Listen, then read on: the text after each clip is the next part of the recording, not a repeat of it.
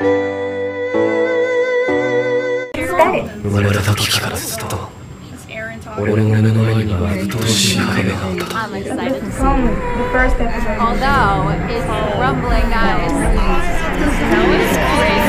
crazy. Oh, this is going to be insane.